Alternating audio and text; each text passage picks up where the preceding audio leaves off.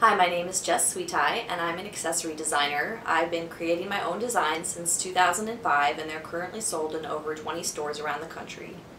I'm Danny. I've been working with Jes since I graduated in 2010. She has taught me so much about starting and running a successful small business, far more than I ever learned in school. My dream for my line is to create a collection of handbags that are locally produced and environmentally conscious. I know I can create a product that's desirable and also fills a hole in the market. I'm Dalla. I'm a fashion recruiter here in New York and I've known Jes for almost 30 years. Um, I'm really excited about the direction that she's taking her line in. She has these really unique and innovative designs and I love the fact that she's decided to focus on the local sourcing and the, the cruelty-free materials. I think she really has the potential to succeed in this industry and I can't wait to see what's next. My business is my life. I'm ready to take it to the next level.